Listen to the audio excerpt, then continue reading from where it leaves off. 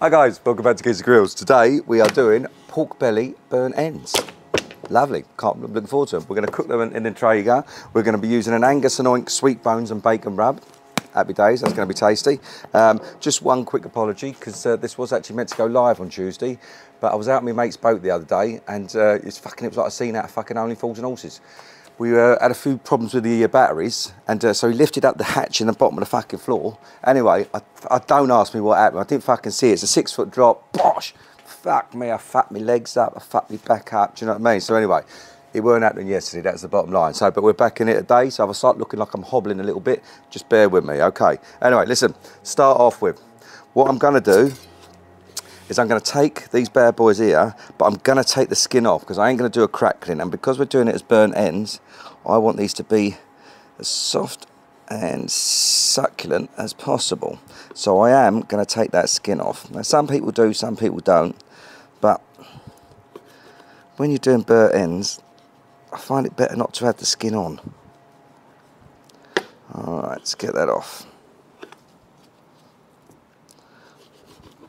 Just takes a lot longer to render, do you know what I mean?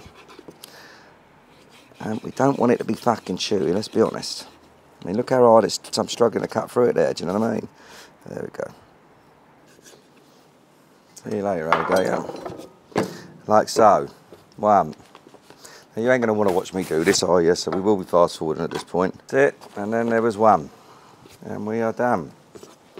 And there you have it, guys. Then, very straightforward. All we're going to do is we're just going to cut these into cubes. The prep side of this ain't too bad at all. I mean, if you bought a whole big pork belly like so, I mean, you could probably do some with bacon, some with pork with um, pork belly burnt ends. Fucking, oh, it's endless. It's endless. Something looking similar to that, guys. You know what I mean? Like so, like so, and like so. Right, next stage. Pop that out of the way. We are just going to pop that on there now I always find it easy to use one of these baking trays here, especially when you're just trying to move it from move everything around, you know what I mean? I'll just pick the whole fucking lot up and go straight in the Traeger. We're only going to marinate for about an hour a day, but while that is marinating, what I am going to do is I'm going to make up a, um, a homemade barbecue sauce because we're going to use that for the, uh, the final flavouring when we get to the stage we start basting this after these have got to the temperature of 200, all right? So let's get that out of the way. Okay, and then simply, guys, all we're going to do Angus and oink, sweet bones and bacon, and be fucking liberal. We want to get make sure we get a good covering over it all. So we don't waste any of that, what I want to do, I'm to pop that on there first, stick that over there, let's get this covered up, shall we? Lovely, lovely. And as you can see, oh, slippy sucker. And there you have it. And then, very simply guys, these bad boys are going on here. Make sure we get it all, quite a few out of it, that really, didn't we, to be fair. All right, and then that, that little lot's going in the fridge for about an hour. Well, the next thing we're going to do is we're going to make up a homemade barbecue sauce. See you in a minute, all right? Right guys, time to make the old barbecue sauce. Well, first of all, how are we going to start this bad boy off? little drop of oil in there. Um, the only reason just a tad, just probably about, I don't know, tablespoon give or take. Pop that over there. And that is just so that we can sweat this garlic off.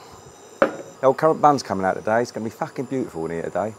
But uh, I'm just trying to see if I can get this sauce made up before the sun gets round and be right in my fucking eyes, you know what I mean? Anyway, here we go. Right, let's get cracking. Equivalent of four cloves of garlic, guys. I know it's cheating, it's fucking easier. See ya, saves a lot of messing around. And there, just sweat that off a little bit. Bring that round. You can't beat these little bloody, um, oh, yes. God, I took a big old breather fucking, what's name in there? Turn it down just a tad.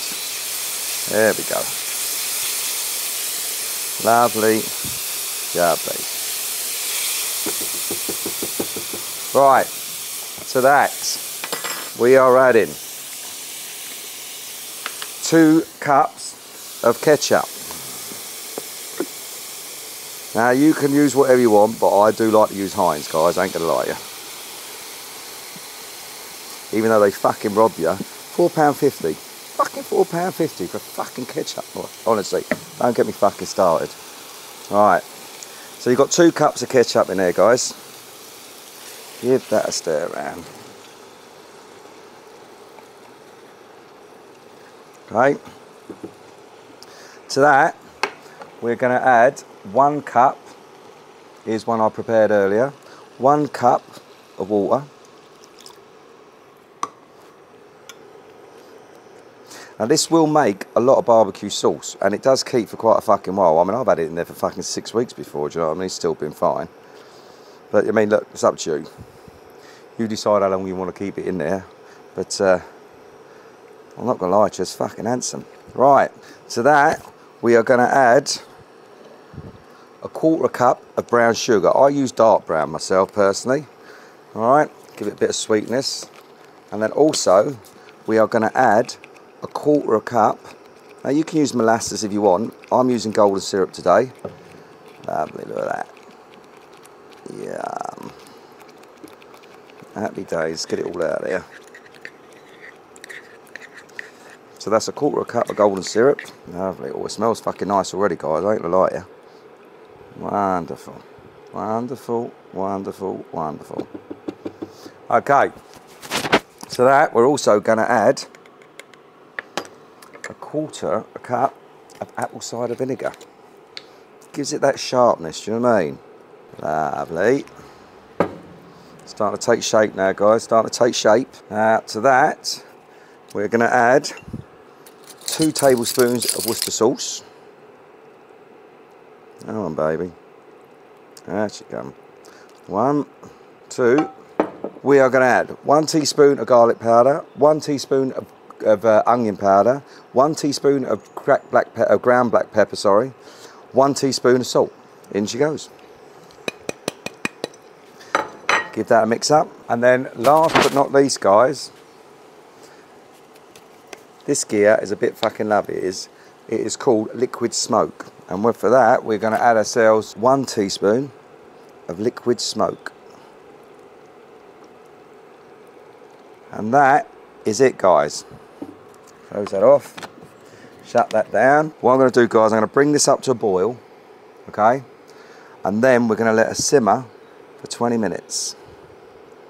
That boiling should thicken her up a bit. To be fair, though, when we're using this with these um, pork belly burnt ends, sometimes when it's a bit runnier, it works a bit better. All right, let's get this up to a boil.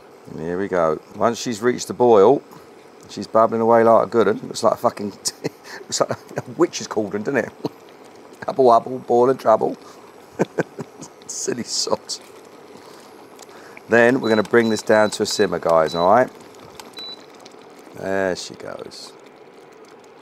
And that is going to simmer for 20 minutes.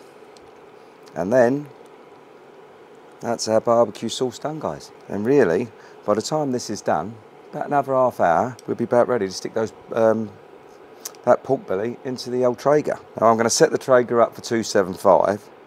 Now they weren't the biggest chunks of pork belly, so I don't know, a couple of hours. We're trying to shoot for a temperature of just under 200. Then we're going to bring them out of there. We're going to put them in a tray. We're going to add the uh, barbecue sauce. We're going to cover them up in they pop again. Right guys, we are at the 20 minute mark. It's time to have a little taste test, I think.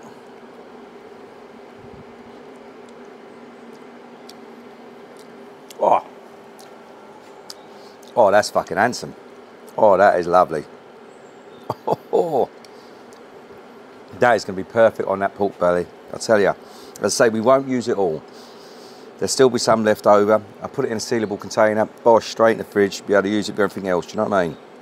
That's fucking lovely. There we go. We are done. Right, you can hear the Traegers now. I've turned the Traeger on. We set her up to 275. Once that gets up to temperature, that should be just about the right time. We're going to get those pork belly uh, burnt ends in there and get them smoking, do you know what I mean? Right guys, as you can see that they've taken on a lovely colour with that sweet bones and bacon rub from Angus and Oink. So all we're going to simply do, we're up to 275. And all we're going to do is stick these bad boys in straight in the middle there. Bosh. How's about that? Very straightforward. Now, we're going to wait till them bad boys get to just under 200 degrees, then they're coming out, they're going into, into a pan, add the barbecue sauce, back in again. I'll see you then. Right guys, we are at the hour mark, it's time to have a butcher's.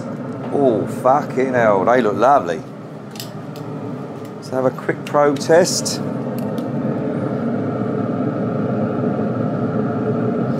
Still got a way to go yet, guys. Certainly not probe tender yet. What I am going to do is just give them a little flip.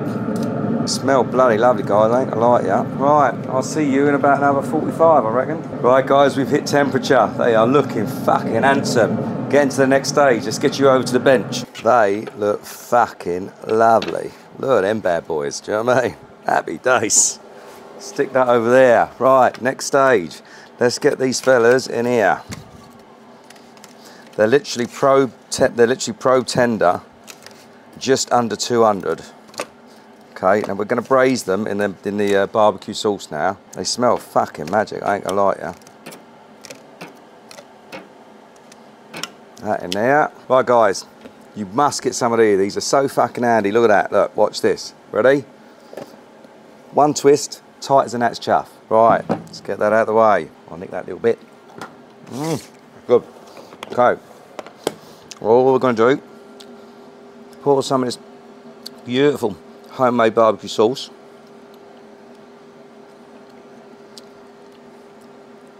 Lovely. I said I told you you wouldn't use it all. I want to get it all mixed up so she's all covered. Make sure we get every little piece covered up because we're going to braise this for about 20 minutes. Get it nice and hot. About 20 minutes, maybe half hour, see how we get on. That's what we're looking at, look at that. Then, oh, make sure we get that one and all. That on there, that on there. Bit of aluminum.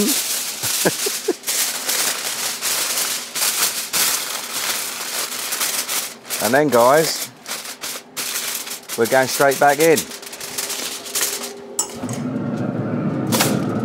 and I shall see you guys in about 25 minutes. Right guys, it is time.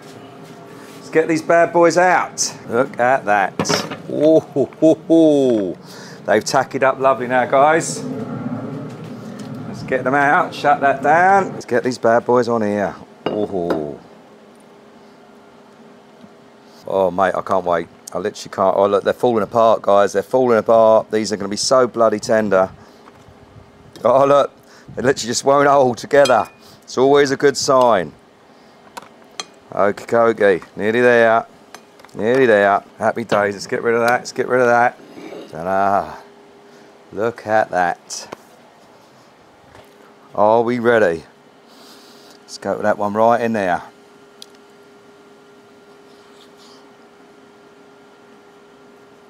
Oh,